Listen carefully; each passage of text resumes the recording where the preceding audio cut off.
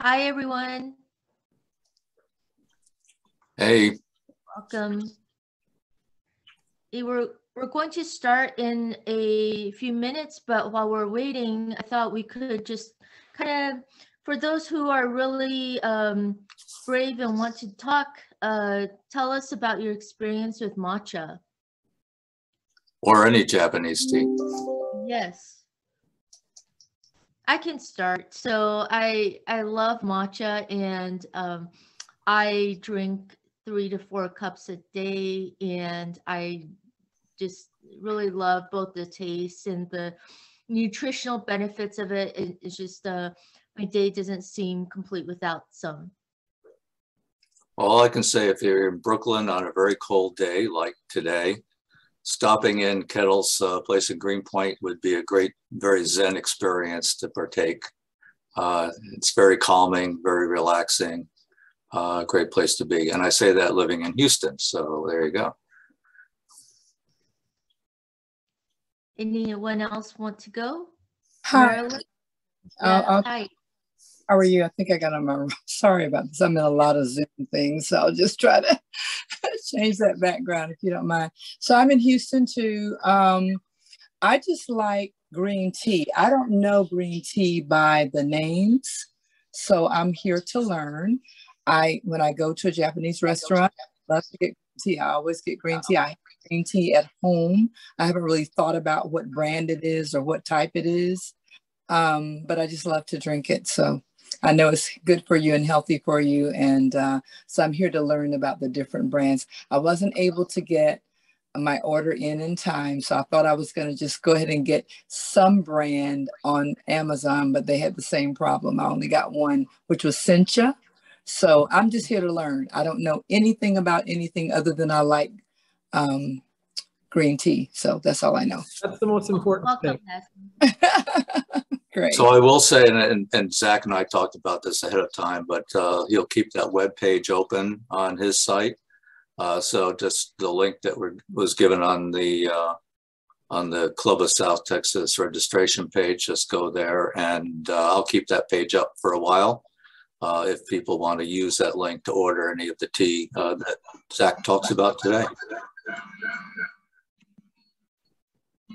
Hi, so WH says, I like Gyokuro tea. Just going to mention that I grew up in the tradition of English tea, and my English father was adamant about having a proper cup, which meant heating the cup with hot water before you, you know, put even tea into it and how long you steep it and everything, and then adding the milk or cream, at, you know, uh, afterwards, after that's been mm. put in as well. So I'm just curious to see what the uh, Japanese tradition is like. Great. Yeah, I'll echo that. Um, we are from Pakistan, so we drink tea the same way with milk, and that, you know, the teapot has to be heated and um, and it has to be brewed for a little while. So, and also we we drink uh, green tea also, but we use uh, sometimes use cardamom and cloves uh, in there as we uh, brew the tea. and, and sometimes cinnamon as well. So one of the things I'm going to talk about actually, which we're already getting to, which I love, is how tea is this interesting vessel for reflecting the cultures where it ends up. So if you drink tea in Japan or you drink tea in Pakistan or in Russia or in Taiwan, uh, it's derived from the same plant, but it takes on a whole new cultural meaning because it, it's almost a mirror that reflects the style of how people gather, how people eat, how people spend time together. So uh, today we'll be focusing specifically on the styles and customs of Japan, but I love hearing more about how uh, other cultures and other people enjoy tea because it's it's always different and always really uh, rewarding and enriching to to to learn about that because I certainly know a lot about Japanese tea, but I love learning about you know other cultures and other styles as well.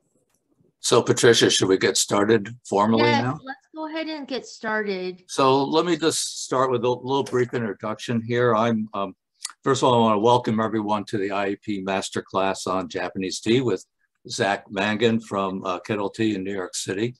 Uh, I'm Dave Johnston. I'm with the MIT Club of South Texas, and I'm really pleased that we've been able to join with the clubs of New York and Northern California in hosting this event. Uh, as an aside, I'd also like to thank my Brooklyn-based uh, daughter and son-in-law, Liz and Michael Whitetalk, for introducing me to Zach, uh, who is a longtime friend of, of Michael's family. Now that said, I'm sure we know we're all looking forward to uh, to learning more about the world of Japanese tea, but a bit of uh, bookkeeping or housekeeping here. Uh, please, as we're uh, as Zach is presenting, uh, mute yourself, and if you have any questions, uh, go ahead and put them in the chat.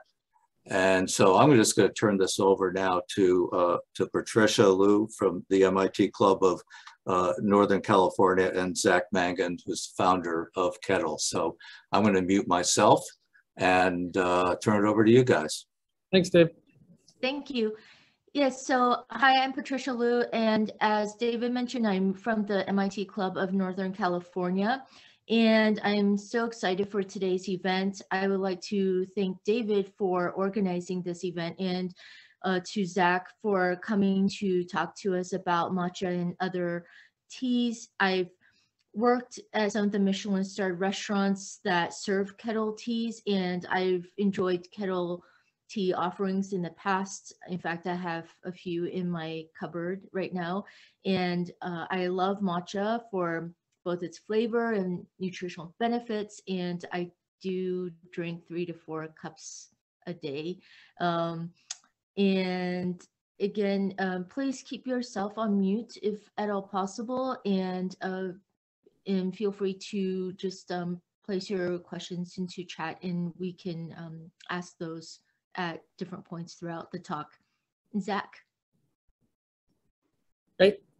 Thank you, Dave. Thank you, Patricia. Uh, welcome, everybody. My name is Zach Mangan.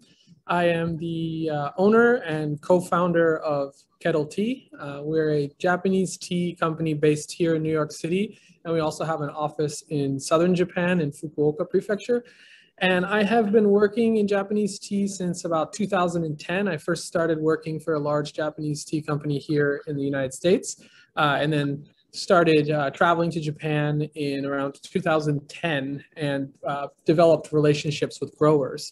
Uh, now we, as I mentioned, have offices here in New York and also in Japan, and we work direct. So kind of an interesting business model. We work uh, out of our office in Japan direct with all our producers. So we have relationships with growers throughout the country. Um, we have known many of them since I started out.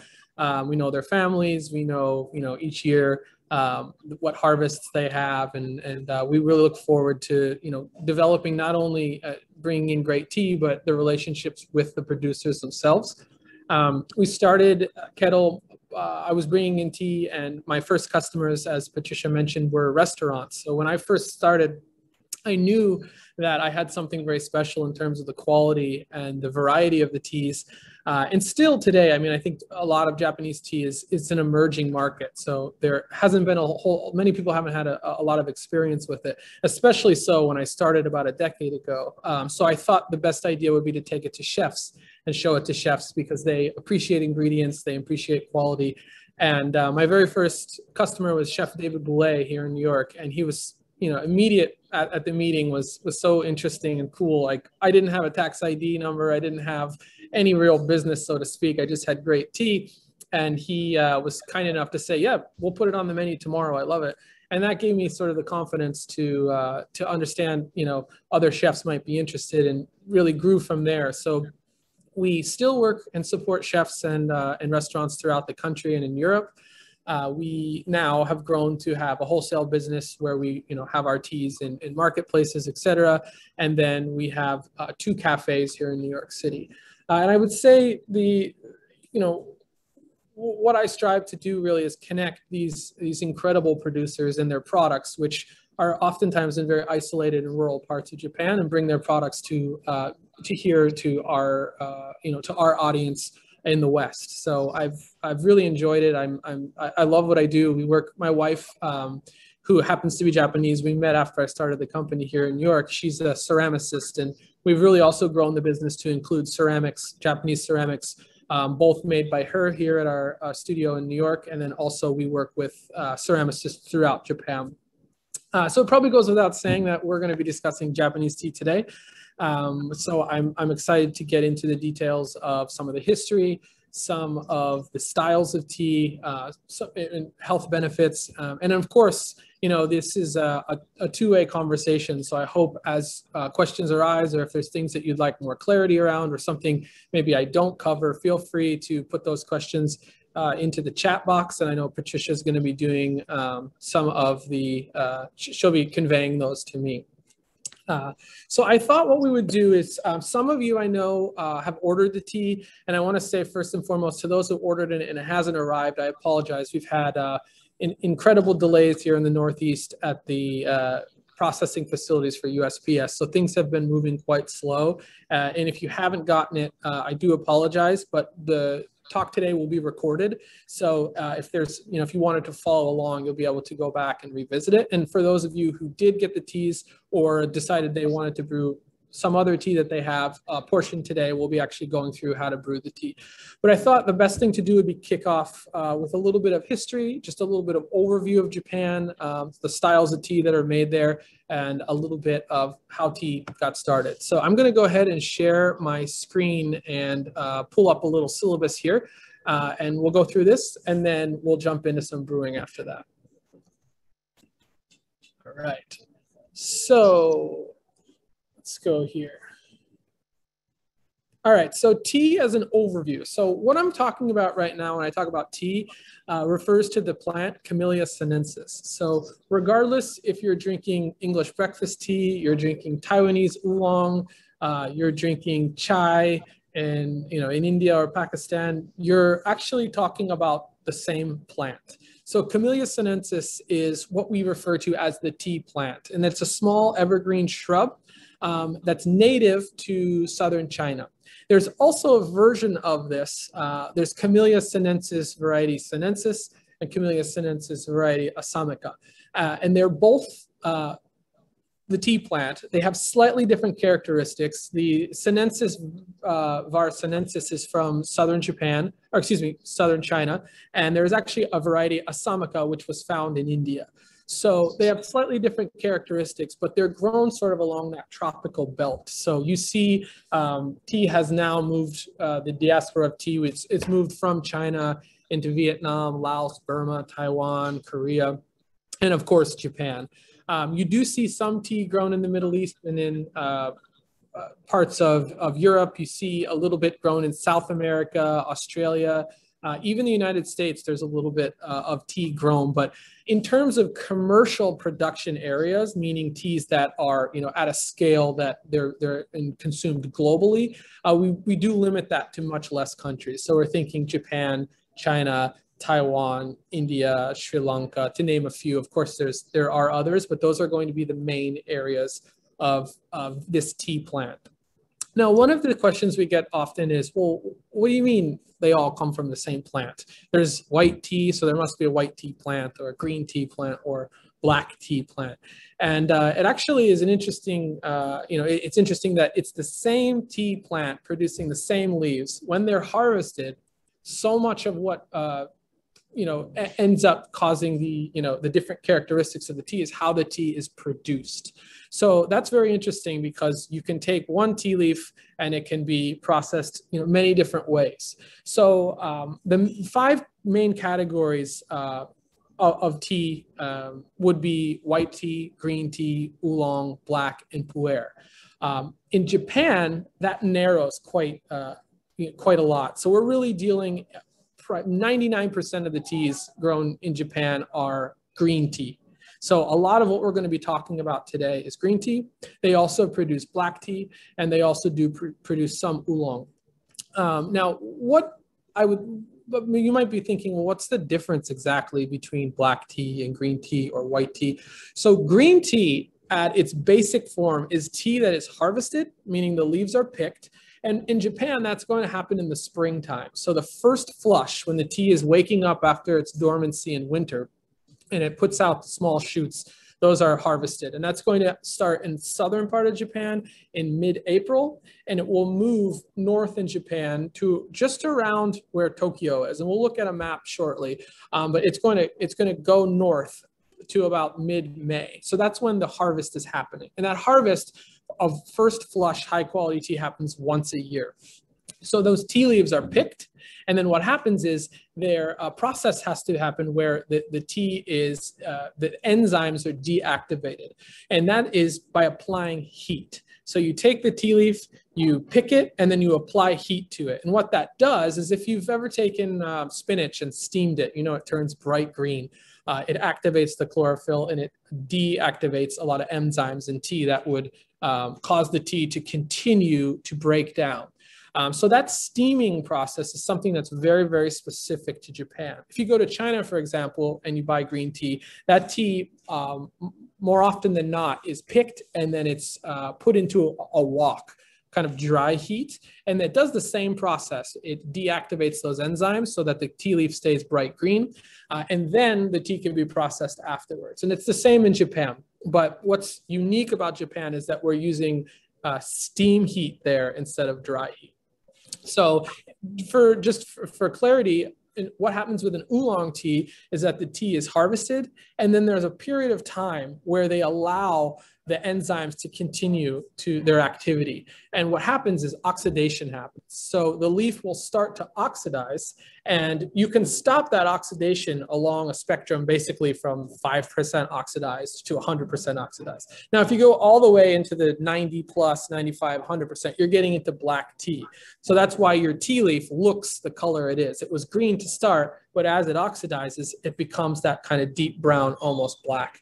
And the oolong teas, those are going to be somewhere, as I mentioned, in between. So they're going to fall on a scale of, you know, very lightly oxidized, meaning they're still green, to very deeply oxidized, meaning that the leaf turns, uh, turns brown, sometimes red. Um, another question we often get, and many of you may know this, some of you might not, is when you order tea in a restaurant, you say, I'll have chamomile tea or mint tea or lavender tea.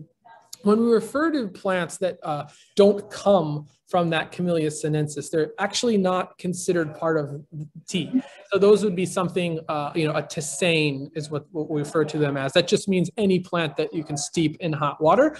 But um, Earl Grey is black tea. It's blended with bergamot. But that bergamot flavor, that's actually not that's not a characteristic that comes from the tea plant. That's something that's blended in with the leaf. So you do see um, those five major categories. Again, today we're going to be focused pretty much on green tea because in Japan, they drink primarily green tea. Uh, so quickly, I want to just go over a sh very short uh, historical overview of how tea ended up in Japan. So it's a fascinating story. And if any of you are interested, um, I have a book coming out May 24th, which I can share a link with that we get more into the deeper uh, nuances of Japanese tea history because it's just so fascinating. Um, but today we're kind of, we'll, we'll hit the finer points. So tea was introduced to Japan from China around the year 806 AD. Uh, and many things, including the kanji characters, the written characters, um, a, lot of, of religion and culture, a lot of these things were introduced to Japan through China. And there were these, these exchanges, these cultural exchanges that happened and started around this time. And during this time, uh, monks, Japanese monks, went, well, they weren't monks when they left, but they were monks when they came back. They were introduced to Buddhism, they were introduced to tea uh, in China, and they brought this these these items back and they they started to you know share them in in uh, Japan. Now I should remind you, when tea was first introduced, it wasn't anything like we have now, this elegant beverage that we enjoy as a, you know, kind of a leisure item. This was more or less like a, a crude uh, potion. Like a, a, it was definitely for for um, the benefit, the health benefits, and also the caffeine that people were taking. So it was really more of a medicinal item at that point. So if you were to try and put yourself in that that time, I, I can assure you, it probably did not taste very good. It was quite bitter. It was quite crude, but it was kind of the beginning of the introduction of this plant into Japan.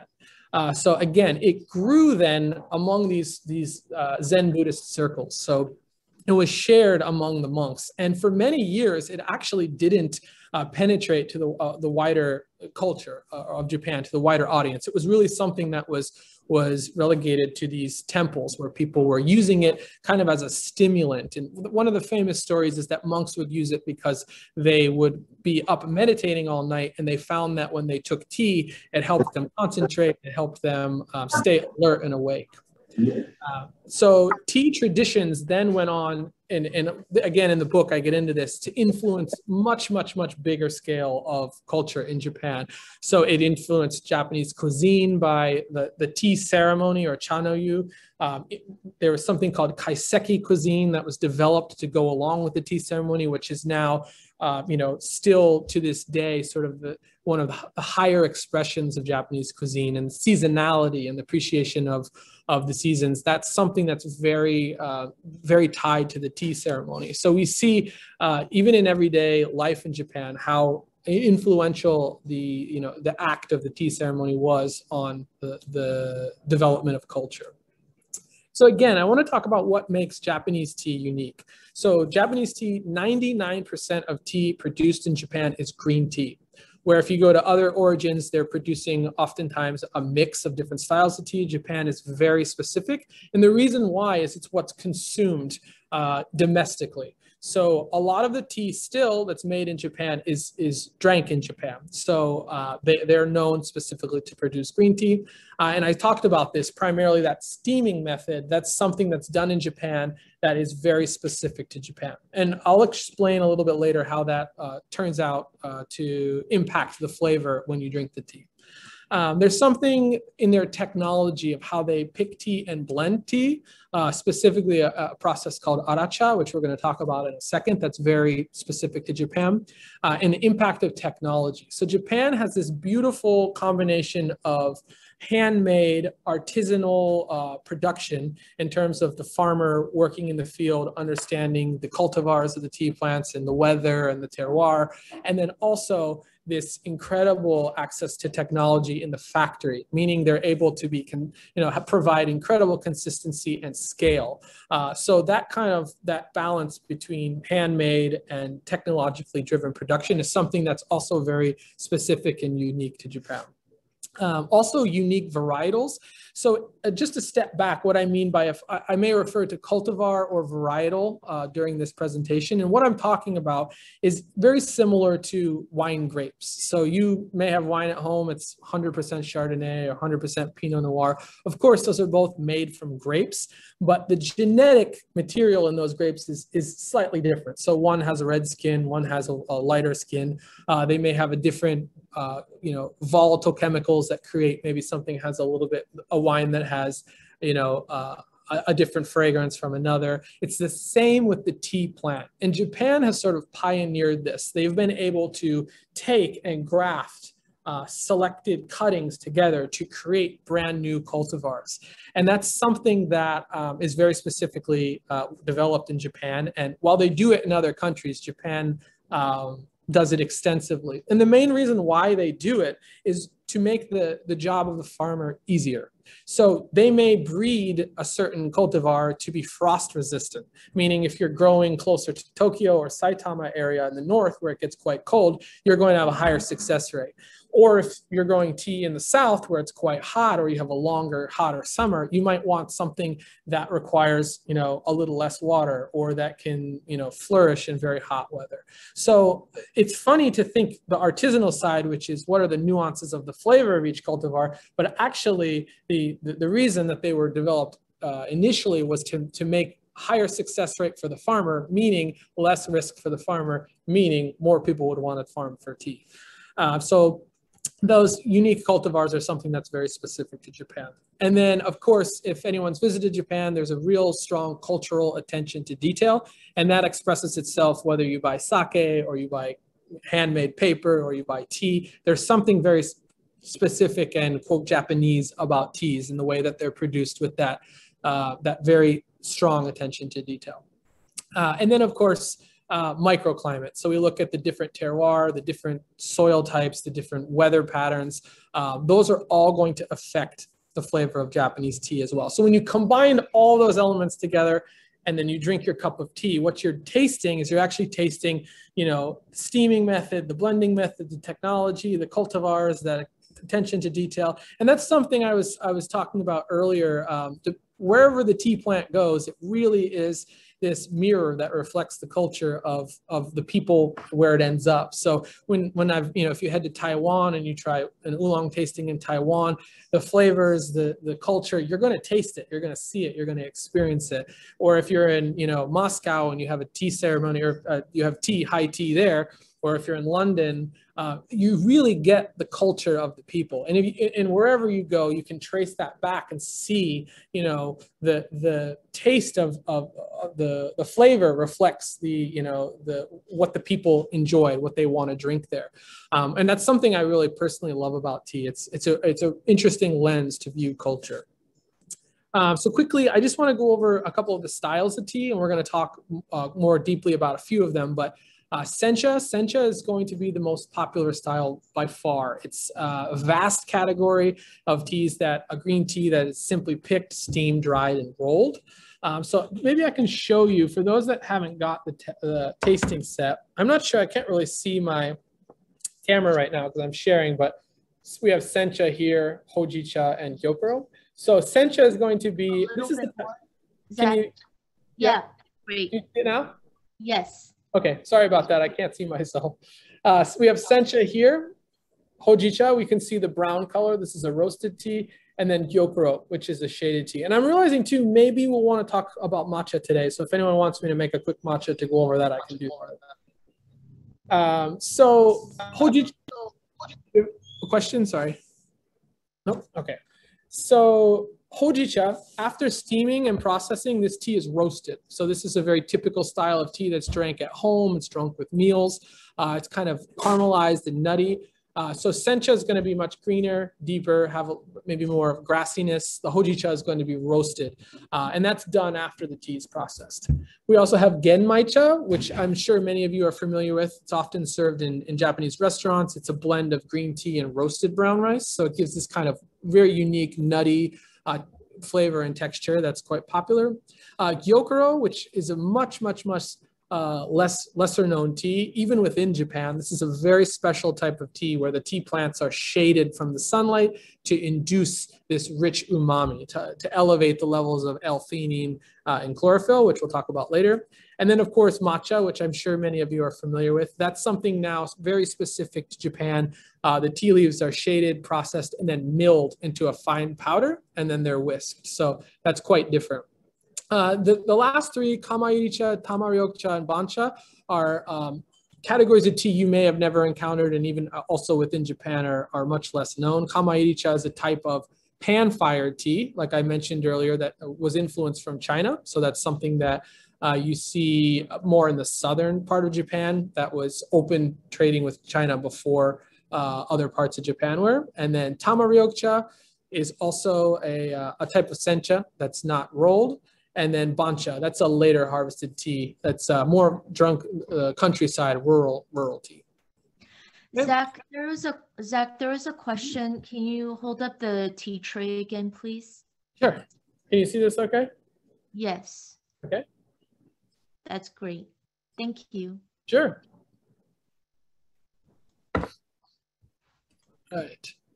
So quickly, I don't want to bore anybody, but I also find, you know, th th these facts about production very interesting. So the aracha is very unique. So one of the things that sets Japanese tea apart is that they're able to produce and harvest a lot of tea and then store it and reprocess it throughout the year to provide really fresh aromatic tea. So in the spring, the, the fresh leaves are picked they're air stirred and moisturized, which just basically holds the tea leaf. Uh, it, it keeps it in good shape until it can be steamed. Then the tea leaf is steamed to deactivate those enzymes. It's cooled, it's scattered, dried, rolled, dried again, rolled again, dried again. So if, if you can imagine what you're trying to do is you're trying to take a leaf that's about 90% water. There's a lot of water in the fresh leaf and you're trying to slowly remove as much water as possible. So those processes of uh, steaming and then scattering and all the drying and rolling, you're actually you're, you're more or less working the water out of the tea leaf. So the final uh, product at the end of aracha processing is about 5%. It goes from 90 to 5%. So you have quite a loss in water. Uh, now, the great thing about that is that tea is now stable and it can be packaged and it can be put into a refrigeration. And now you have access to fresh leaf. You don't have to worry about it degrading. Uh, if you were to finish it all the way 100% and just leave it there, air would act on it and it would start to, it, the flavor would start to change. You would lose the nuance. So in Japan, they can do this aracha process. They can put it into cold storage. And then when a company like myself in January, you know, you know, nine months after the harvest, I can say, I'd like fresh tea, please. They'll pull it out and they'll they'll process it. So that sencha production, that's what happens to sencha when we call them and say we need tea. They put out and they pre-firing, post-firing, and finishing. And then when you open your packet of tea and you smell it, it's you're like, oh my God, this must have been this must have been growing in the ground a week ago. It has all this flavor and aroma, but it's actually because of that process. So it's a very specific way that tea is processed there. Um, Tencha matcha processing, that's slightly different, um, but it goes to a factory that, that looks similar, but um, those teas are going to be processed to be milled. So there's, the, you'll notice there's no rolling. So those leaves are allowed to uh, be processed without rolling so they can be milled. Um, just quickly to go over some of the areas of Japan. So uh, if you can see here, this is, we have Japan, Hokkaido up here. To give you a reference, right around here is where uh, Tokyo is, where my cursor is. So if we look, these are sort of the four of the largest tea production regions. We have Shizuoka here, which by uh, volume is still the largest area of production in Japan. We have Uji, which is by and large the, the most culturally important tea uh, area in Japan still today. And it's also sort of the birthplace and really the center of matcha production. Then if we go down here, this is called Kyushu, this island here. This is the southern island. Um, we have Fukuoka at the kind of northwest and Kagoshima here. These are two areas that are um, newer to production, but now producing very high quality tea. So um, Shizuoka, Uji, Yame, Kagoshima. Uh, of course, there's many others as well, but just for the sake of time, those are the, the four that I'd like to discuss. Now you'll notice too, um, if you look here, you can kind of see if we if we were to split it in half or maybe even into thirds, definitely the lower quadrant here is where tea is being produced, and that's a uh, a factor of weather. So if you if you've had great Japanese sake, oftentimes that's coming from the other half. So in all the sake regions, I never visit because I'm always visiting the tea regions. So if you're if you're interested in great Japanese rice or sake, those tend to come from north of Tokyo up in this region where it's cooler. Japanese tea, you're seeing the production kind of falling to the south. And again, that's just because the tea plant is uh, able to uh, to, to strive, uh, thrive there, excuse me. So we'll go over some of that a little bit later. I think what might be nice now, is there any questions, Patricia, that you yes, wanted to get to? So this is a great time for questions. I, I'll ask some now. So Travis asked, he lived in Nagasaki for two years and discovered Japanese tea and had many great experiences with local varieties. How does tea grown on Kyushu differ from that from other regions? Great. You said Nagasaki? Is that where yes. it was? Great. Yeah, Nagasaki is a, a, a, wonderful area. We work with many great farmers there. There's a place called Higashi Sonogi, which is right on Omura Bay. Um, and that's a great question. Teas from Kyushu, because they have a longer growing season, they have access to warmer weather sooner, they tend to be really bright, very fresh, and the style in which they process the tea, they really uh, amplify sweetness and umami. And when I say umami, I'm referring to uh, kind of a, a complex, savory, sweet quality. If you think about the taste of an oyster or the taste of mushrooms or miso soup, things that kind of fill your palate with this sort of rich savory note, that's that's umami. So those teas uh, from Kyushu in general, which I, I love, I love tea from there, very bright, very fresh. And when you brew them in the cup, they tend to be almost electric. Like you look and you think, oh my God, that's green tea. Like you've seen green tea before, but this is like HD green tea. It's, it's really, really beautiful. So um, yeah, if you're interested in trying teas from Nagasaki, we have one called Asa no Yume. That means morning dream in Japanese. And it's available on our website and it's beautiful. It's uh, one of my favorite teas. And how did you pick Fukuoka as your Japanese office location? Okay, this is going to be a little story time. If you have two minutes, I'll tell you my the history of why this happened. Uh, when I was working in New York at a Japanese tea company, two gentlemen came in that were visiting from Japan, and they looked quite curious. They were looking around the store, and, and I struck up a conversation with them. They gave me their business card. They happened to have an IT company based in Fukuoka, and I said, "Fukuoka, I just got some tea from there, and this tea was not anything that the store sold. It was something someone brought me, which ironically I thought was much better tasting than what we were selling in the store. So I thought now's a perfect time to make it. So I made it for these two gentlemen and they're drinking it. And at the time I didn't understand Japanese at all. They started talking to each other and they're, they're like, can we see the package?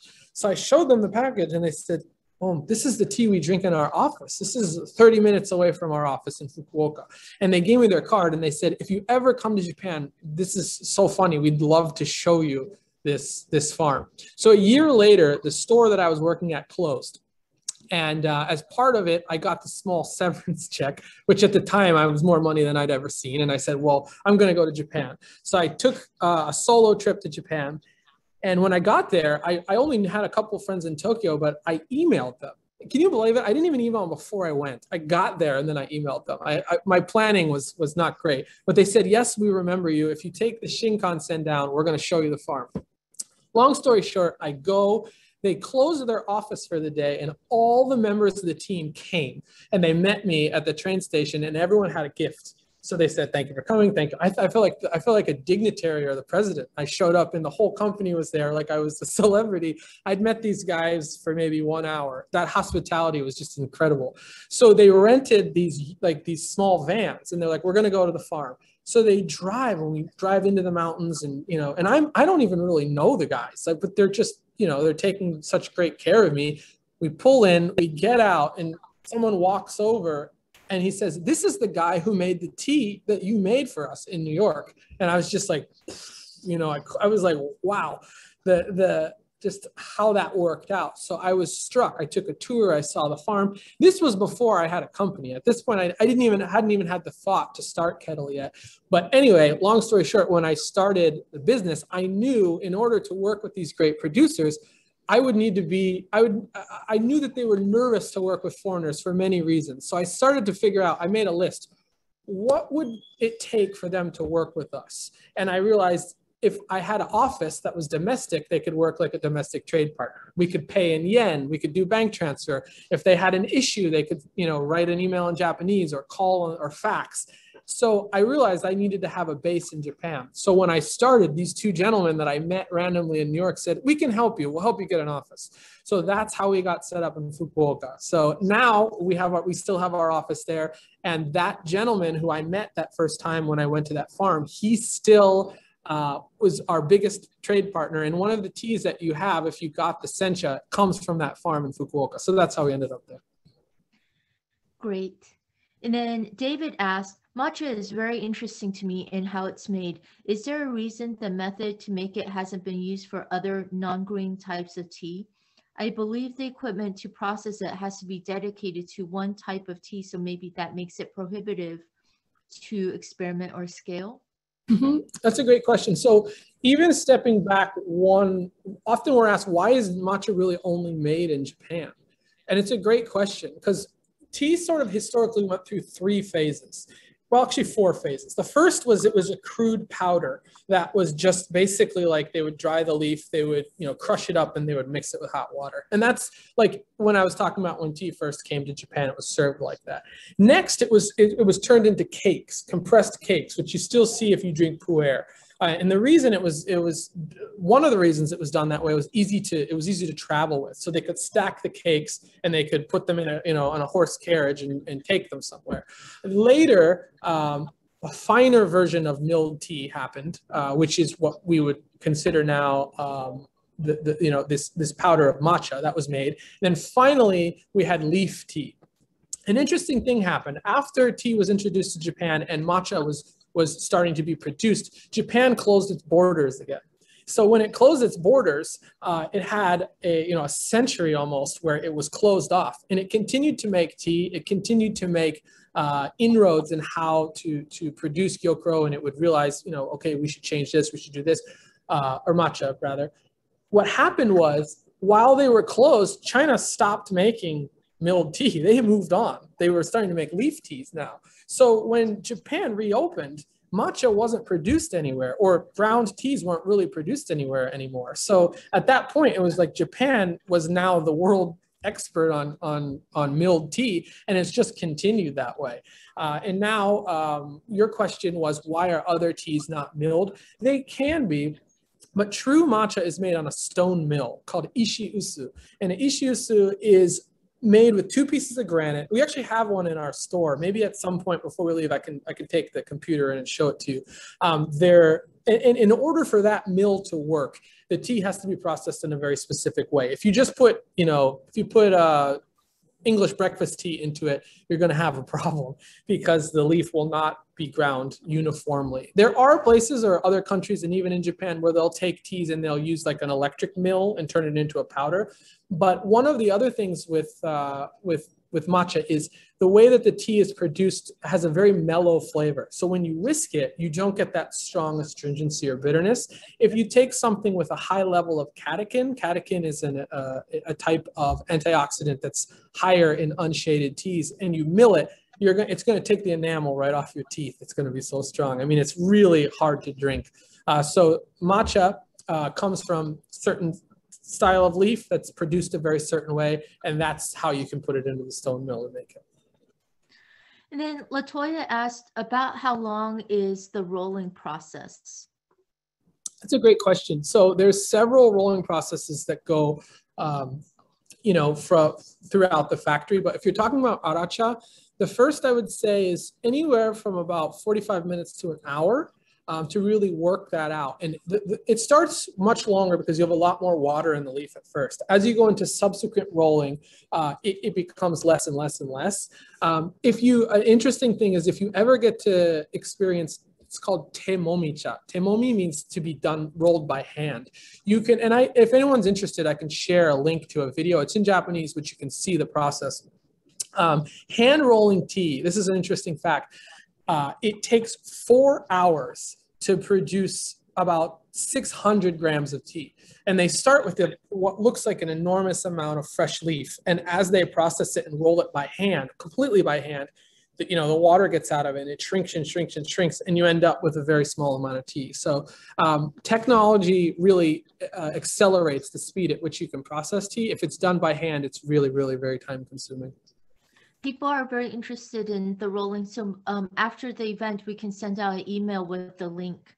Yeah, absolutely. Yeah, the Temomicha is a great video uh, to watch. I can send, I mean, uh, you know, uh, you can either email me or if there's a way that I can send these links and you can share them, um, that's fine. But yeah, there's all sorts of fun stuff on YouTube if you want to see the uh, the production. And also in the book that I have coming out, we, we get more into the, the process of, of each step of the manufacture. Great. And David is putting into chat some of the main links for the Kettl site, some of the things that we're discussing today right now. Yeah, in, in the blog section, there's a lot of interesting, you know, like kind of intros to styles of tea, et cetera, that you might want to start with. So um, with that, do we want to maybe get into brewing our first tea? Yes, and uh, just so some people have questions about the brewing and things like that. So we'll ask those questions once you've gone over brewing. Sure. sure. So I'm going to do this. I'm going to put my screen down a little bit to show you. So this can be a part that some people are quite intimidated by because unlike wine, which, oh my God, my wine friends, I'm so jealous. You just take the cork out, maybe decant it and you're ready to go. You have no, no risk. Like you can't really mess it up. With tea, there's an, a huge element involved is yourself or the person making it for you. So the first thing I want to stress when we talk about being uh, brewing Japanese tea is it's a process. So if you don't get it right the first time, do not despair. It takes practice. The more you do it, you'll you'll start your instinct will kick in. You'll ex- have experiences and you'll realize, okay, you can figure it out. And I'm going to help you guys today for sure. Get get very close. The one thing I'd really like to stress to start is water. Water is the most important part of brewing Japanese tea. You'd think, as someone who sells tea leaves, it would be in, in my interest to tell you that the most important thing is the leaf. Actually, it's the water. And I say that because if you have incredible tea and not so incredible water, the, the uh, you know what you're going to end up with is much worse than if you have incredible water and mediocre tea. So what you look for with Japanese tea is you look for a softer water. So if you live, uh, you know, each city obviously uh, is different. Here in, the, in New York City, we actually have quite soft water. So if you run it through like a purifier, like a Brita purifier, something like that, you're pretty good.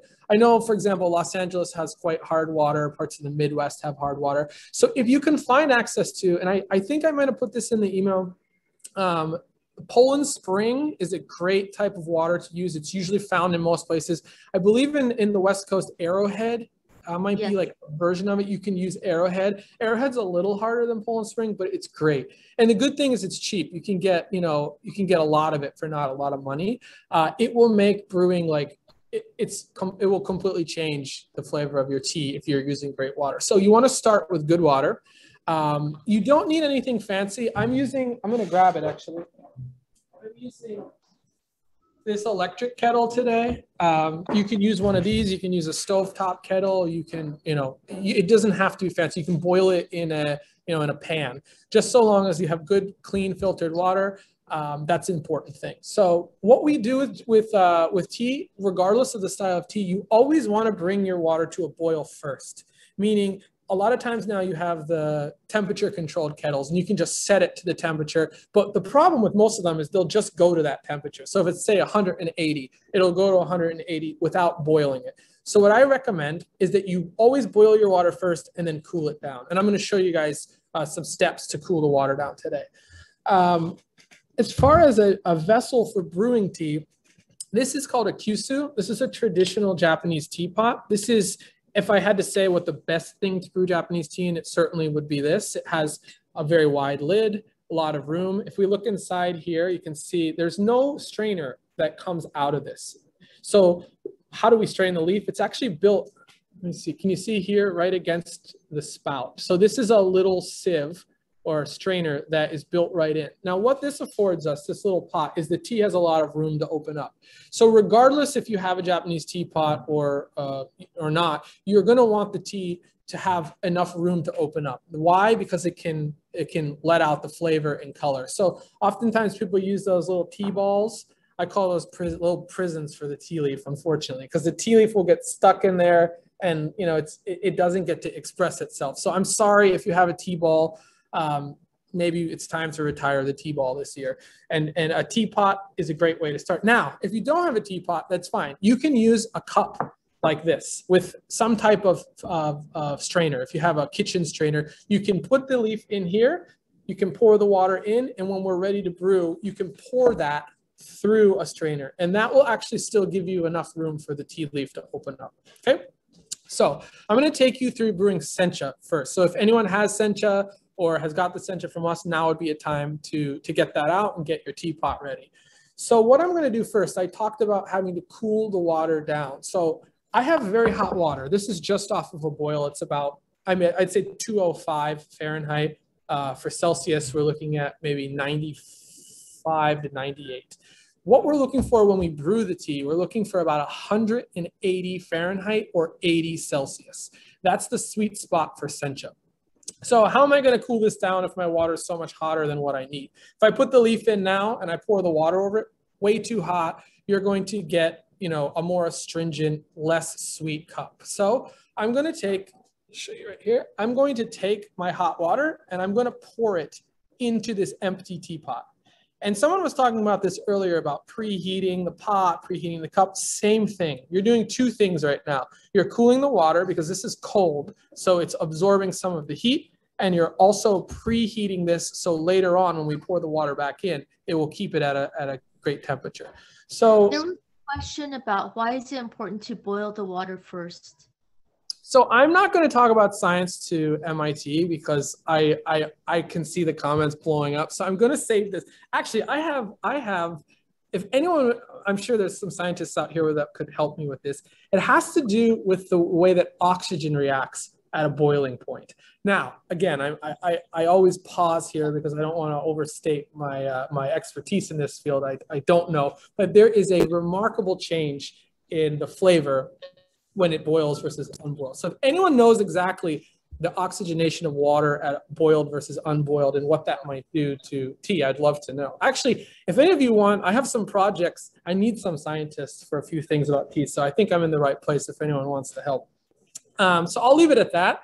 So we're boiling it, we're cooling it down here. And now I'm gonna I'm gonna say I'm gonna brew for two two people. So I'm gonna use two two teacups today. So these are two um, kind of smaller sized porcelain teacups. I'm gonna set here. And I'm going to take this, this is empty, there's no tea leaves in it. And I'm going to pour it into cup number one and cup number two. And I'm going to empty the entirety of the water out. So now I have an empty, hot, preheated teapot, and I have my water cooling further in these cups. So if you have a kitchen scale, it's a great way to kind of get a sense of how much you know, a gram or five grams is. I've pre-measured, so I'm gonna take this off and set it over here. And I'm gonna take five grams of the sencha. You can see the sencha here. This is actually kukicha sencha. So you may notice there's some like green stalks in here. That's some of the stem, which is gonna give it, uh, it's gonna be a little easier to brew and a little uh, less chance of getting any astringency. So I'll put that in here. So now I have my tea leaf in here. This is a great way too to experience the aroma. So if you put it in your preheated pot, it's a great way to smell it. So what am I smelling when I smell it? So I'm smelling, it's grassy, a little bit toasted, has almost like a hazelnut, like fresh cut spring grass, asparagus, almost like buttered asparagus. Very green, very fresh, very vegetal. So I have this. Now, this I'm just using, I'm not using a thermometer. Uh, you can use a thermometer. I just tend not to. I like to, you know, I've been making tea for a while. I can kind of sense by holding it in my hand, you know, if it's too hot. If you're holding it and you can't hold it, it's burning your hand, it's too hot. So I'm going to guess this is probably closer to 190 right now. So it's a little bit above 180. But what's going to happen is when I pour this back into the teapot, it's going to drop a little bit. So I'm feeling like this is probably pretty much ready to go. Another way, I don't know if you can see, you can start to, to learn by the steam too. So if steam's going straight up like this, like really rushing out of your cup, that's a sign it's probably also too hot. So you want your steam to kind of start flowing like this a little bit. I know this sounds a little crazy, but you start to notice those things the more you make tea. So this, uh, I also didn't mention how much water I'm using. For this, I'm using about 180 cc's of water. Um, so we're looking at like five to six ounces. So again, that might feel like a lot of tea to a short, uh, to a little amount of water, but the brewing time on this when we pour it in is only gonna be about 45 seconds to a minute. So let's go ahead and we're gonna take the water. And if you're using a one mug, that's fine. You don't need to use two. You can just pour all the water into one, into here like this. Okay, and then I'm going to let this sit for about 45 seconds. And while it brews, you don't need to shake it. You don't need to, you know, disturb it at all. You can just trust that it's brewing inside. And um, one thing I want to talk about, if you're serving for two people and you're pouring from here into two cups, it might make sense you think, okay, I'm going to fill this one up and then fill this one up. One thing, as you brew in a teapot like this, as you get closer to the bottom, it's going to get stronger. So what we want to do is we want to brew in a method where we go one, two, one, two, or if you have three, one, two, three, two, one, two, three, two, one, like that. And we go little by little. And what that does is it allows the, uh, the strength of both cups to be equal. So that's something you'll notice if, if someone from Japan makes you tea, they're not going to pour it into one cup and then another. All right. So.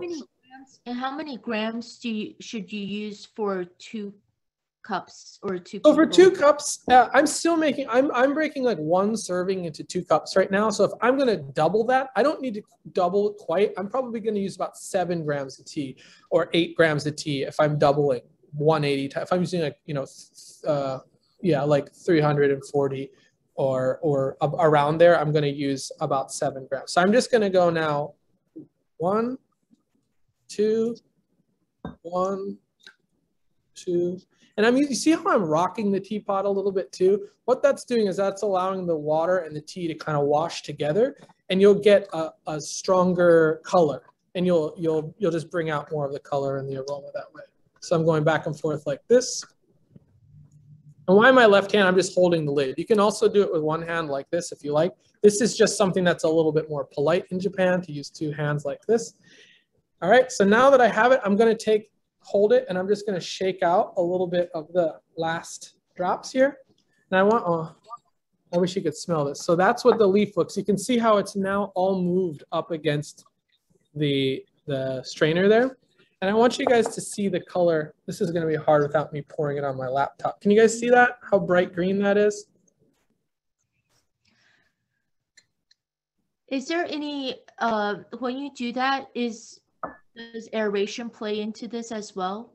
This was one of the questions. Um, there's not, so aeration plays in more when you're whisking matcha because you're introducing air into it. There's not, I mean, air is going to have an impact on the aroma for sure. How much, and, I can't say, like, you know, aeration is not an element that we really think. We think of more, more the amount of tea, the amount of water, and the duration uh, and also the temperature of the water. So those are really the elements you can control. Of course, you can also control the material that you use. Um, but in my opinion, I don't get caught up in like, well, it's this type of clay versus this. Like those do have an impact, but I think for most people, the bigger thing you're going to want to worry about is does the tea have enough room to open? Is the temperature of the water, the amount of water, and the amount of tea correct? And then the duration. So now I have this beautiful tea, it's not scalding hot. So you might feel like, well, this is a little cooler than I like. You can brew it hotter. You just need to be careful. And what I say is if you, if you increase the temperature, you're going to want to decrease the duration, meaning you could brew very hot, but you don't want to do it for 45 seconds. You want to do it for about 15 seconds. Because what you'll do is you'll start to uh, limit the extraction of some of the more uh, bitter or astringent qualities. So why don't we take a taste? And if anyone's drinking along with me, I'd love to hear some feedback, uh, some comments on how you would describe the flavor. So, itadakimasu. Grassy. Grassy? Nailed it, for sure.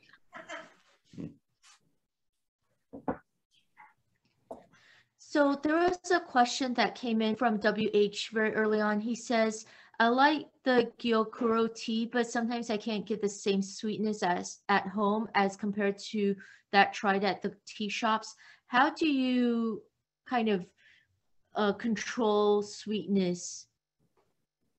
Right. So he's. Uh, I'd assume the meaning is the tea. The same tea leaf is sweeter when it's prepared at the tea shops, and then he takes or they take that same leaf home, and it's not as sweet. I I would I think so. Yes. Okay, so my guess would be immediately the first thing I would think of is water. So water is an element that for, for extraction of sweetness and umami is going to be very, very uh, important. So I, I don't know exactly because I don't know what type of water he was using or they were using and the, the tea shop. But uh, for sweetness, softer water with Gyokuro is going to increase the sweet. If there is sweetness in it, it's not going to create sweetness out of a tea that doesn't inherently have that. And sweetness comes from a few different uh, few different uh, components. Um, so high quality Gyokuro, if, if uh, we want to just talk about that uh, shortly, maybe I can show a, a quick some photos. Would that be helpful to show some of the Tencha and Gyokuro photos? Can I do that? Sure. All right. So let's look at all right. So really quick, I just want to show you what this tea bush looks like. So this is sencha. So if you notice here, it looks like a, very, very, very long hedge. So you can see here kind of this rounded, this is probably about mid thigh to hip high if you're standing right here. So it's not that high. Um, you see beautiful green leaves. This is right in the spring. So these little leaves here, if I can zoom in, they're what, they're what would be harvested. Um, now this is sencha. So sencha grows in full sunlight. So there's no shading. If you look to the back here, do you all see this, these black netting, this black netting here? This is one form of shading the tea leaf, which I'm going to explain in a second. But basically, if you were to go to Japan and see tea fields, you'd see these beautiful long uh, hedges like this. Now, interestingly enough, this isn't just one bush. This is actually many tea trees that are pruned together in a way that it becomes like one bush. But if you were to go to the root systems of these, you'd see there was many small trees under there. Uh, and now this is absorbing sunlight and will be harvested and will be made into green tea. But if we shade it, something happens. And this also, I think, would be fun to, uh, the scientific minds out there will appreciate this. So if you look at the left side of the screen, versus the right side of the screen, I'm sure you can notice a color difference. So this is actually the end of a tea bush that was being shaded. So if we look on this side, this was covered right up until about here. And if you look here, this, this part of the bush was not covered. So what happens is there's a uh, increase in chlorophyll here. That's the main reason that this is so much darker than this side. So I can see, you can see it here as well. So you can see a, a big delineation here between this side, which is growing in full sunlight, and this side, which was under the shade. So how I explain it is, um, this is tencha here. So this is what would be shaded for matcha. So what happens, a couple things. When you have a tea plant and you cover it, uh, as you reduce the amount of light, the tea plant responds because uh, you know a good deal of the uh, the energy that a, a, plant makes comes from photosynthesis. So when you disrupt its main source of fuel, it starts to react. So the plant goes, okay, something's going on here. I'm not I'm not getting enough energy maybe it's me. So it starts to uh, increase the amount of chlorophyll that is in the leaf in order to absorb any of that light that's still making it through. So that's why you see a big jump in the, the, the color from sort of that like lime green to really, really deep green. Now, another thing happens in the plant um, when a plant is photosynthesizing, meaning it's capturing sun, um, there are a couple of, of components in it that are changing as it photosynthesizes. And again, I hope I'm not doing any injustice to science here, but I'll explain it the way that I understand it. Um, catechin is the main component in green tea, uh, the main antioxidant in green tea that develops during uh, photosynthesis. When the plant is not photosynthesizing as much, um, what happens is L-theanine, which is an amino acid, is originally in the plant. It, it, it transfers itself into catechin. But when you cover the tea plant, that transfer, that change doesn't happen. So you end up with higher levels of L-theanine that are still in the tea leaf. So when you harvest it, you have a much higher level of L-theanine. And L-theanine is a glutamate. It has a rich kind of umami sweetness to it. So when we talk about gyokuro or matcha, those are both shaded teas. That intense sweetness often comes from that glutamate. So if we're looking here, these bushes, if you might notice, they, they're not pruned as low as the sencha. If we go back here and look at this, you can see this is quite low. If you go here, these are much higher. The reason why all this tea is going to be harvested by hand.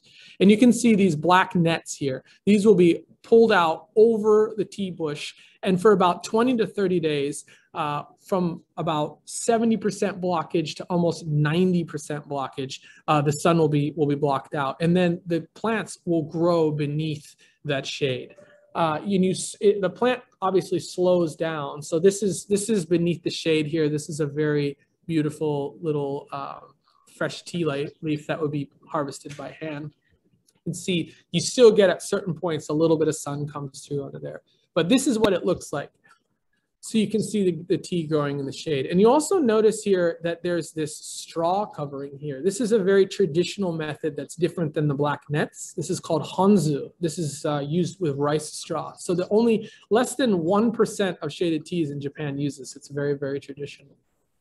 So Zach, there's a couple of questions. Lori says she has to go soon, so she was mm-hmm. hoping to get her answer um, to her question. Why does the tea bag green tea taste so much worse than loose tea? Why does the tea bag green tea? 100% yeah, it's, the, it's the yeah quality of the tea. So we actually sell tea bags. Uh, i think a tea bag in itself is an amazing invention and a great piece of design but often what you get is you get very low quality tea. Uh, you know depending it can be really really tragically bad to kind of bad to quite good if you have if you buy from from somewhere with quality. So tea bags in themselves are not evil. It's just a lot of the the unfortunate tea that they put in there. Uh, and often too it, it you know it, it can do with uh, if the water's too hot or if you're using you know unfiltered tap water those types of things will also cause the tea to not taste so great. So Zach, I'm just doing a quick time check. We're a little over an hour into this event and we still have about 10 questions. Do you want Yeah, why don't we just, however you guys, I, I don't, I'd, I'd prefer to use the time uh, how, how people would like it. If you want to ask more questions, I'm happy. I can, uh, maybe I'll just finish up the photos real quick and then we can get to some more questions. And then if we want to go over more brewing or if you guys would like to make me to make some matcha for you to see that process, I'm happy to do either. Um, so why don't I just quickly finish these photos and then we'll get back to the questions. So uh, I just want to show you something really interesting here. Can you can you see this starburst shape of this plant here?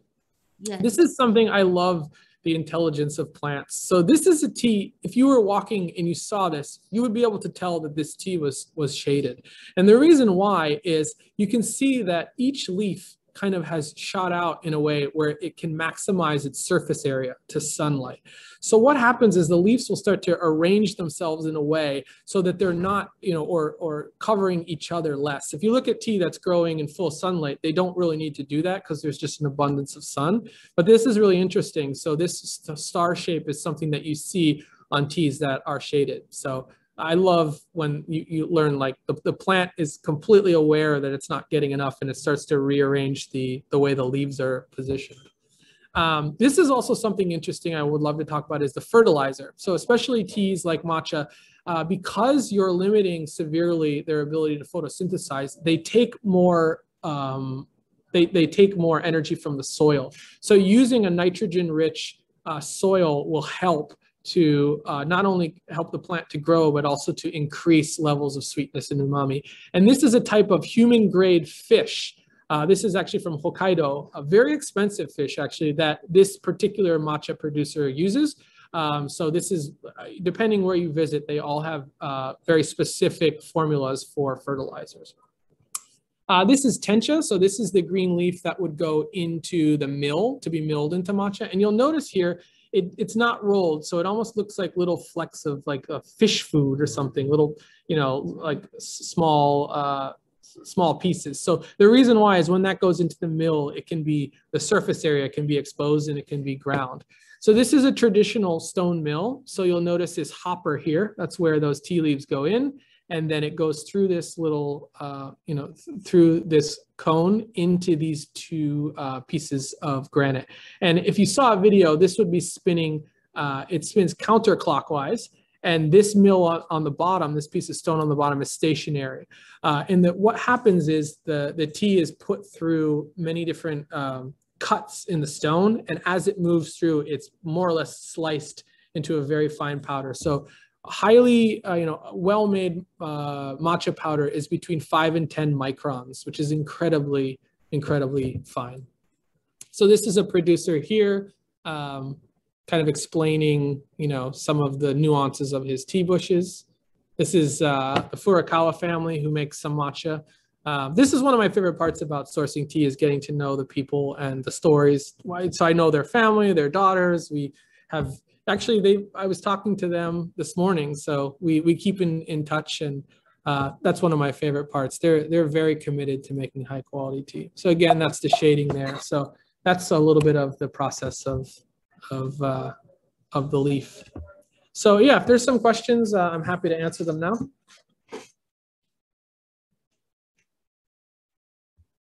I think you're muted. Uh, Patricia, I can't hear you. Oh, Yes. So there are a lot of people who would love to hear more about matcha and see if we have time to um, see the brewing process. Yeah, of course. You want to do that? Uh, are there is there any other questions I can get to before I do that, or I can just jump in? We can do that right now. Sure. Um, there were a lot of votes for the matcha, so I would just we're okay about 20 minutes left sure. on the program, so maybe Great. cover. Give me two seconds. I'm just going to grab a, uh, a whisk and a bowl, and uh, I'll be right back. Just be two seconds.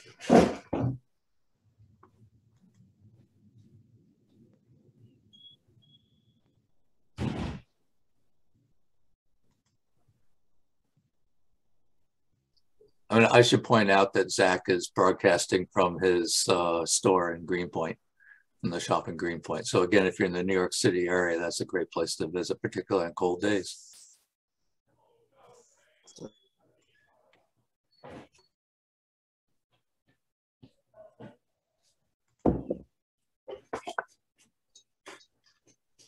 All right, so we're gonna do a matcha here.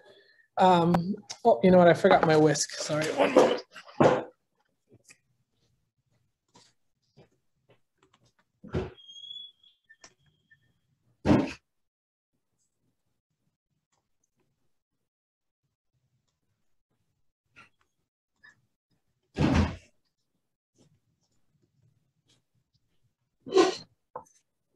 All right. Thanks for your patience. All right. So for those that maybe aren't familiar with matcha, matcha is a finely ground tea, shaded here. We can see the powder. Um, at Kettl, we actually sell 15 varieties of matcha. So we love it. We take it quite seriously. And uh, this is one of our favorites, Hanaka. We sell this, uh, a lot of this, and we serve it in our store. Uh, so the tools you're going to need, um, most importantly, is the chasen. Chasen is a piece of bamboo that's been carved into a whisk. So this is really, really important uh, in order to get a great foam. So I'm actually gonna bring my water back up to temperature for a second here. Um, so we also have the chawan, which is a tea bowl. Um, this is specifically made for matcha. You can use a small bowl. It's not, you know, it's nice to have a, a bowl that you use regularly, but it's not, you know, imperative. So small bowl and the whisk. This is what I would say you need absolutely to make great matcha. Something like this, this is a chashaku or a scoop. This is going to help, but you can certainly use a teaspoon or something like that. Uh, a strainer as well. I recommend something to strain the, uh, the matcha powder with. So this has actually been pre-sifted, but I'll just to show you the method that we recommend, I'm gonna sift it again. So if everyone can see here, I'll try and get this down like that. I'm gonna take uh, the matcha powder and sift it into the bowl.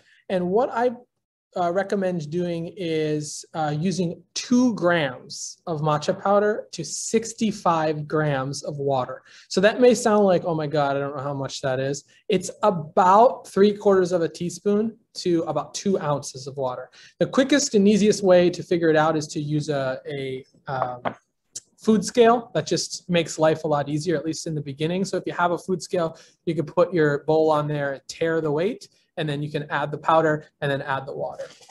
So now that I have my water ready, uh, I like to preheat the bowl. So I'll go ahead and pour a little bit of water into this uh, empty tea bowl just to warm it up a little bit like this. And then I'll go ahead and discard that water.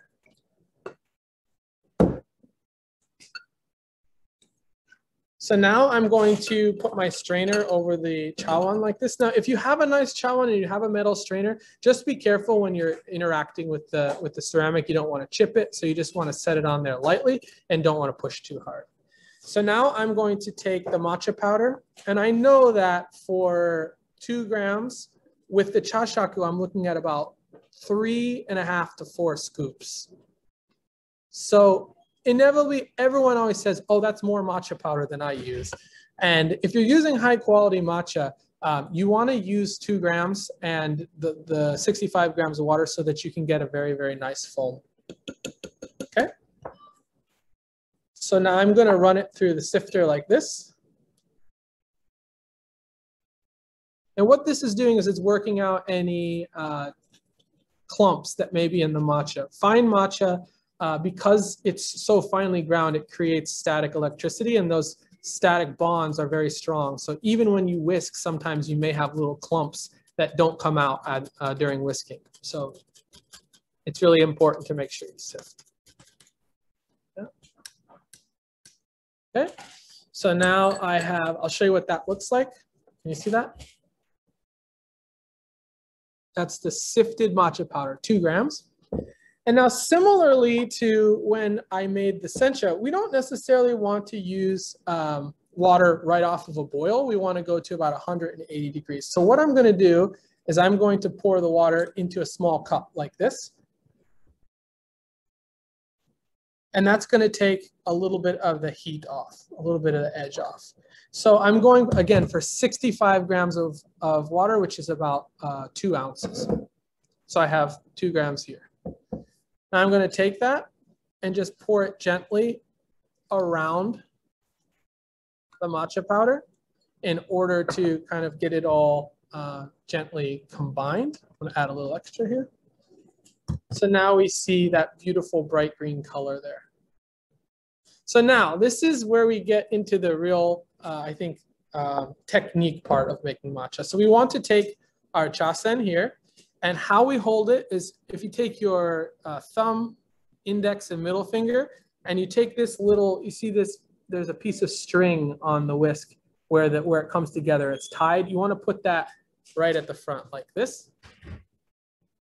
So I'm holding it like this. And again, when you're using a chawan or a nice piece of Japanese ceramic, you always want to handle it with respect. So we're going to keep our hand on here. We're not going to whisk like this. You really want to make sure you're holding it. So I'm going to pull up just so you can see here. You can see where we generate a lot of torque is we pull our elbow up like that. So we want to pull our elbow out and we're generating the thrust from here. So it's going to be like a paddle like this. This is what we're looking for. Da, da, da, and it's all about RPMs. So you don't want to just go in a circle. You don't want to go lightly. You actually want to whisk the entirety of the bowl. So if this is the inside of the bowl, you want to go from side to side as much as possible to create as much air as possible. So I'm going to pull it down like this so you can watch. And I also am going to stop talking for a second so you can listen to it because you want to hear the, the tea whisk on the bottom of the bowl. So here we go.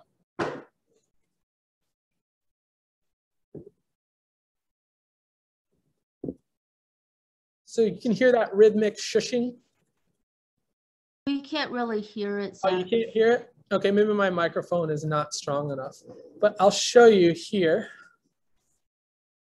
So I do probably the first 10 to 15 seconds, my chasen is touching the bottom of the bowl.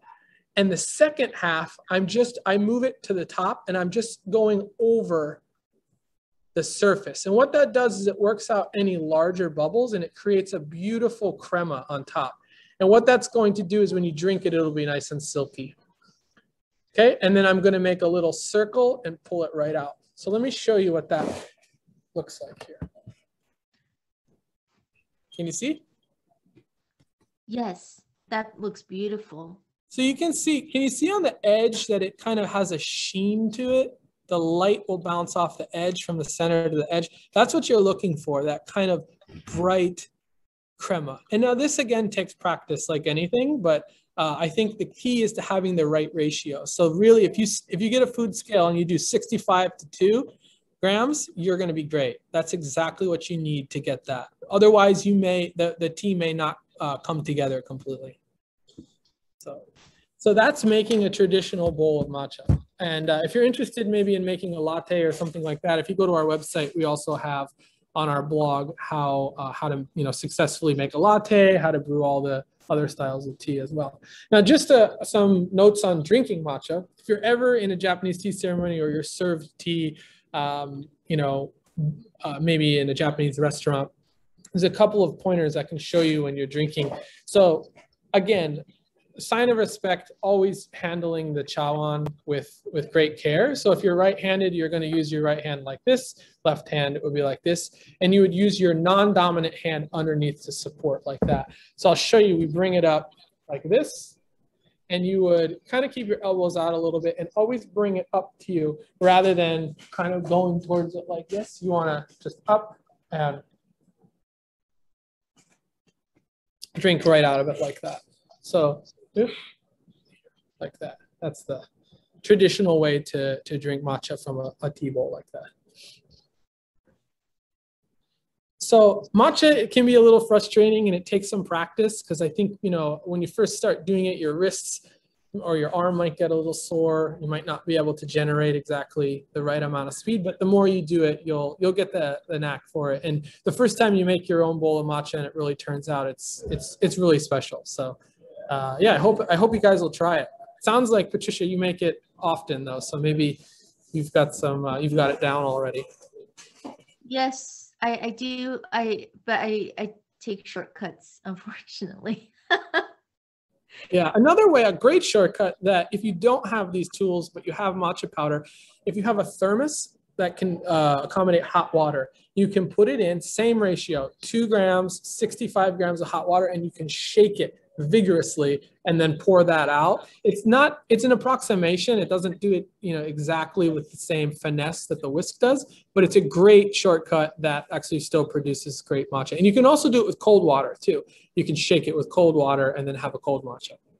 I mean, so usually I I I do sift it. I find sifting extremely important. I usually uh, add a little bit of water to the bottom of the cup first so that it the matcha doesn't get stuck to the bottom of the cup. Mm-hmm. And I, I do use an electric frother. Mm-hmm. I, I know that's heresy probably to use Zach. Um, and then uh, and then for the iced drinks, I usually do a warm matcha first with almost like a paste before I add cold water just so that the powder doesn't lump. Yeah, that's smart. That's great. You, there's there's a lot of ways uh, to make matcha for sure. Um, some of them are listed on our site, but people come in with very inventive ways that I was like, wow, that's very creative. I wouldn't have thought of that. So, you know, the key is is you find a way that works for you and you make it, you know, regular if you want to drink it regularly. But I will say a lot of people who might be intimidated by making it traditionally, the more you do it, it you know, you can make a bowl of matcha actually in less time than it makes uh, takes to make a cup of coffee. So it's quite it's quite easy. Thank you so much for that, Zach. That's beautiful. Yeah. Were there any other questions? I know we didn't get to everything, but an hour and a half goes quick. So if there's any other things that I can answer, anything that uh, uh, people want to know, I'm happy to happy to help. Okay. So I'll just uh, ask some questions uh, that came in. So Bronwyn asked, what's, what is Uji Kabusecha and what is ka, uh, kuki, Kukicha? Right. Kukicha is a type of sencha that has the stem. So kuki means stem.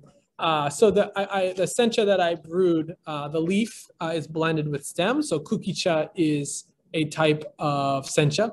Kabuse, kabuse in Japanese means to cover. So it's a shaded tea. So kabuse is kind of between sencha and gyokuro. Gyokuro is fully shaded. Kabuse is shaded, but for a shorter amount of time. So it's technically still in the family of sencha. Okay, and Agustina asked what matcha quality is best to use to make matcha latte? Great, that's a great question. Um, we sell one uh, called Fukuju. Uh, Fukuju is made specifically for uh, blending. Now, the thing is, it's not better, better, better, better, because higher grades, you're going to lose some of the nuance if you blend it with uh, with milk. So we like something that's naturally strong and fragrant that will blend really well with the milk. So uh, again, on our side, I can make the, the suggestion of trying our Fukuju. Um, I like teas uh, from Kyushu, from Fukuoka, for blending with milk because they tend to be nuttier and have more of kind of a chocolatey note. Teas from Uji in uh, the Kyoto area, they tend to be a little bit more oceanic, a little bit grassier. And for me personally, I don't, I don't find they blend as well to my palate with milk. So I tend to look for stuff from Fukuoka Prefecture for making the latte. So at all our cafes, we use our Fukuju. Yes. So, and then there were a lot of questions about storage of the teas. And mm-hmm. I also have a personal question about using like the opaque glass jars for mm-hmm. herbs um, using those for tea. So what's the best, what do you recommend for storage, especially the ones that were shipped out with the Kettl tasting kit? Great. So that's a really good question. The, the main things you want to avoid are light, heat, moisture, and air.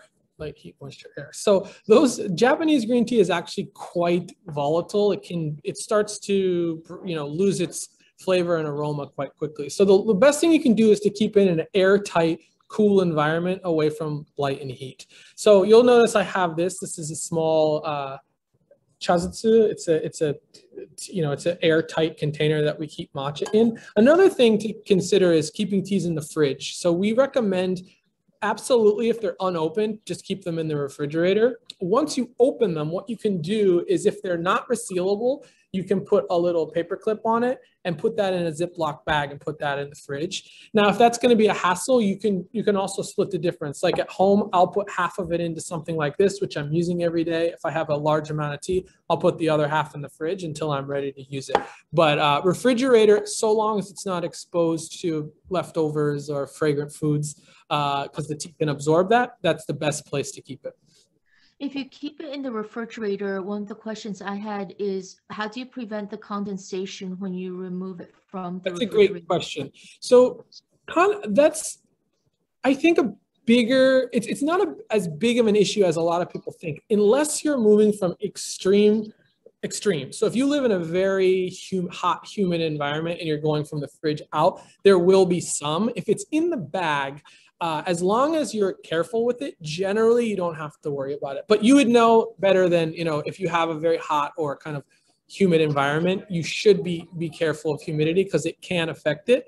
Um, one way to do it is just to bring it out of the fridge and let it sit for five minutes. Again, you know, if you're in a rush, that you know, maybe that's not the most convenient. So in that case, if you have, uh, you know, a, a possibility of humidity, I would maybe recommend keeping it just in a cool, dry place. What about those airtight uh, coffee canisters, not keeping it with your coffee, but those airtight coffee canisters that. Yeah, the ones that kind of remove, eject the air.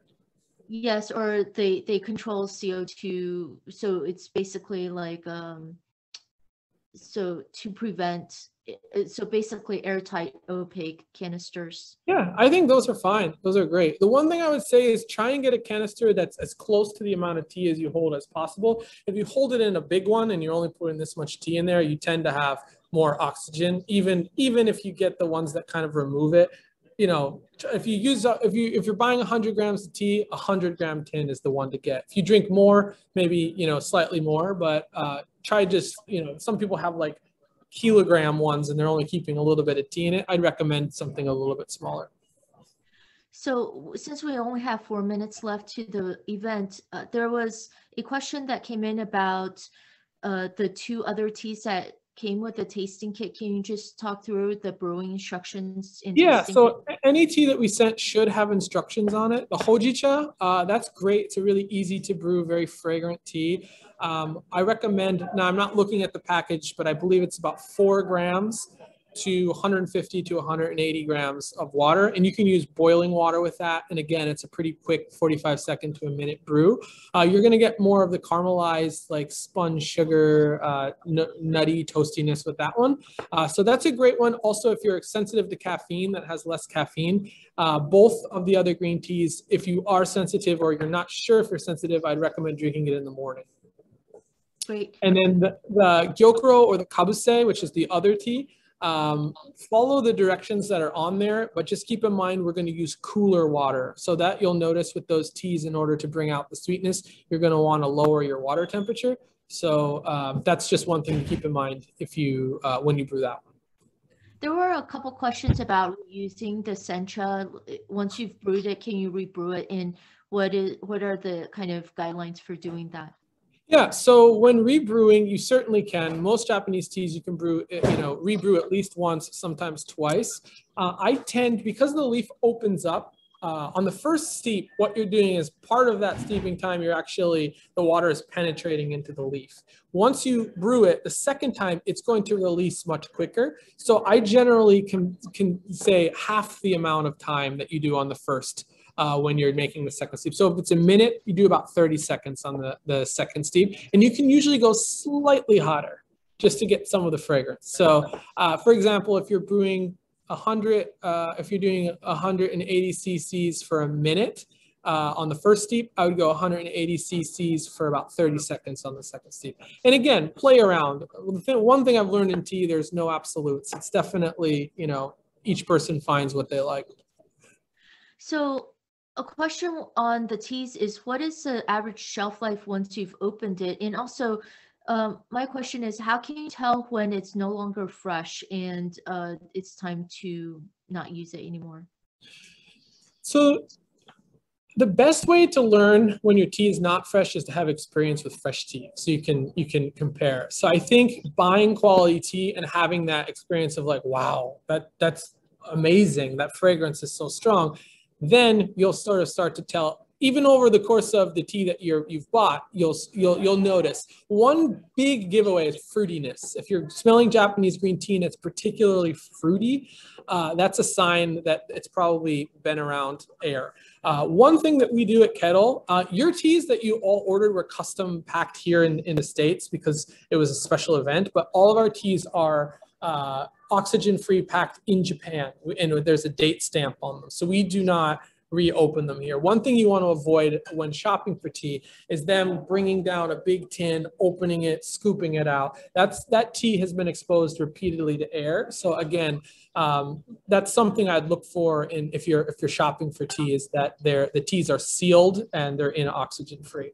Um, but tea does never go bad per se. You're going to lose fragrance and taste, but it's not like uh, cheese or milk or something where you could get food poisoning or anything. They're they're they're okay to drink, but they'll certainly lose fragrance over time. And Sherry had a question about the Kettl uh, tasting kit. What type of tea is the Ayame Kabuse? The kabuse, the ayame kabuse, is, the kabuse is a shaded sencha. So it's sort of on the spectrum closer to gyokuro. Kabuse means to cover. So that we were looking at those pictures earlier of the tea plants that were covered. What that means is it's going to have a little like richer profile. It's going to have really beautiful deep green color uh, and lower astringency and lower bitterness. Great. And there was a question about the tea uh, cultivation is are pests and disease a big problem? Uh, yeah, so like any crop, uh, there are natural pests, there are um, types of, of diseases that will happen. Part of what I was discussing earlier about the cultivars, a lot of those were developed to kind of offset that. Uh, in Japan, in general, this is just a note for our company, uh, is quite responsible in their use of agrochemicals. Uh, so while a lot of teas are not organic, uh, we take it upon ourselves to have all our teas uh, lab tested and a third party uh, company will take them and, and scan them for certain types of chemicals. And uh, in, in general in Japan, they've, they've figured out a whole myriad of different ways to fight pesticides without having to use you know, really strong application of fertilizer or chemicals. So but yes, I mean, like any crop, there's certainly types of bugs, there's blights, there's frost. Uh, yeah, it's tough to be a tea farmer, that's for sure. There was a question from Yasmin on is sencha sometimes mixed with matcha in or other ingredients? And can you do a brief explanation on herbal teas? Yeah, so sencha can be blended with, uh, yeah, sencha with matcha. We sell a genmai matcha, which is genmai, sencha, brown rice blended with matcha powder. Um, yeah, you do see that from time to time. It's a little bit more of a new uh, method and it increases kind of the color by adding the matcha powder. Uh, herbal teas uh, in Japan, I'm not sure if it was specifically geared towards herbal teas in Japan. Um, we sell soba cha, which is roasted buckwheat, which is actually probably our number one selling tea. It's incredibly popular. It has no caffeine, no gluten. Um, and there's a whole bunch of different types of, of herbal teas in Japan. There's kuromame, which is a black bean. There's burdock or gobo, which is a, a type of burdock root. Uh, Japan has a history of using a lot of, of different types of herbal um, you know, dried herbs to create teas. I will say in full disclosure, not all of them are my favorite. Some of them can be a little intense or, or not to my palate. So currently we only sell sobacha, but we're in the process of working, um, this will come out soon. We're working with a really interesting chef to develop some new uh, grain teas, but that's, uh, that's in the future. It's soon. And I saw on the Kettl website a couple months ago that you have a subscription service for freshly ground matcha. That sounded very interesting. Yeah, so we're, uh, I don't believe, I don't know of anyone else that is doing this. Uh, we buy each month from a different farmer, tencha, which is the material that's ground into powder. Uh, and at the beginning of the month, uh, part of this set, you can, we mill it and we send it to you within 24 hours of grinding it. So it's really special. And uh, it's been a huge hit. We've actually, we closed it currently because uh, we, we need to sort of manage, make sure we can manage the experience, but we have uh, somewhere like 90 people or so are, are signed up for it and it's fun. But we're milling a lot now because in the beginning we only had 30 people. Now the mill's running all the time to try and get all that tea out but it's very it's very unique to get to try matcha right off the mill. There were a few questions about the caffeine levels of the different teas mm-hmm. and matcha compared to sencha and other teas. Right. Okay yeah. So all tea uh, that comes from the tea plant, unless chemically altered, is contains caffeine, and it is the same caffeine as coffee. A lot of people have this notion that tea has different caffeine, but caffeine is caffeine. So uh, I would say uh, matcha because you're you're uh, ingesting the entire leaf, you're taking in more caffeine. The interesting thing is though, if you were to take a pound of sencha and a pound of matcha, per pound, sencha actually has more caffeine in it but you ingest less of it because you're throwing away the leaves when you're done. You're not taking it all in. So if you're looking for a kind of uh, invigorating tea, I really like sencha or the kabuse. That will kind of wake you up. Matcha has a tendency to kind of make you a little sleepy for the first 10 minutes because of all that L-theanine that kind of has a bit of a, a calming effect, but over the long term, you'll feel the arc of caffeine longer. So if coffee, the caffeine is kind of like this, Green tea is more like this. It's slower, but it's longer, and you don't go quite as high. So for some people, that can affect them more. They may find they're having trouble sleeping after drinking tea uh, earlier in the day, but you don't feel that kind of racing uh, intensity that you get with caffeine from coffee. What about decaf teas? Decaf teas is something I don't, I mean, I don't know a whole lot about. I mean, they, there are processes usually by, uh, you know, there's a couple of chemical processes that can they can remove it, and I believe it does remove a majority of it. I'm not in totally, in totally sure how much uh, that you know how much it takes out. Uh, again, we don't sell any decaffeinated teas. We only sell sobacha, which doesn't have caffeine to start. So uh, caffeine is hard to pin down. And anytime someone tells you something very, very specific about caffeine, take it with a grain of salt because it's agriculture and it's depending on the year, depending on the batch, it can, it can change. But across the board, green tea is caffeinated and it can be quite invigorating. So. Uh, we have a couple more questions, but I want to be respectful of everyone's time. We're um, past the half hour. So I'd like to thank uh, Zach for coming in to talk to us and teaching us about different Japanese teas. We will send out, David, I please confirm mm-hmm. that we can just send out an email after this event with a link to the recording as well as the link to the rolling process. Absolutely. And I think uh, there may be some guests that uh, did not receive some of our emails. And uh, so if you have invited somebody uh, and uh, did not include their email in the registration, please pass along any information uh, to your guests. But also, I think, you know, on behalf of everyone, Zach, we really appreciated the, the time you put into this and the expertise that you've uh, delivered to us. And, and, I will have a, a, certificate of appreciation coming from the MIT Alumni uh, Association. I haven't received it yet, but Thank you. Is that an honor? That, that's like the honorary doctorate, right? Yeah, it's sort of like that. Yeah, I, yeah. I didn't want to be forward, but I was thinking that, you know, just a little something to put on the wall. You know, exactly, exactly. Impress your friends, right? So, well, fingers crossed. Yeah. yeah. Well, no, I want to thank everybody too, Patricia and David. Thank you guys for setting this up, and um, this was a real uh, treat for me to get to to tune in and do this. And uh, it's an open invitation. If anyone is uh, in New York, please come visit us. We've got a small cafe in Manhattan in our flagship here in Brooklyn. Um, and certainly there's uh, a lot of programming on our website and we'll be uh, developing that further this year. So we'll be releasing a series of instructional videos on YouTube. We do a lot on our Instagram live as well. So if you follow either of those, uh, please look us up and we'd love to, uh, yeah, you know. And when's your book coming out, Zach? The book is coming out May 24th. I can send a link. Uh, it's on Princeton Architectural Press, and I'm really excited about it. It's it's uh, it features it revolves around interviews with the growers, so it's really great information. There's a chapter on health and wellness, uh, with Dr. Andrew Weil, which is uh, you know really special to get him to kind of show his expertise within the health sector. Um, there's some interviews with chefs, there's recipes, there's all sorts of stuff. So I'm I'm very excited. If you enjoyed this, it's going to be like a deeper dive for sure. We'll send a link in that, that email to. Yeah. Okay. So um, thank, thank you everyone for coming to the event and we'll see you at the next one. Great. Thank you, everybody. Thank you, everyone. Thank you, Zach. Appreciate it. Take care. Thank you. This is great. This is great.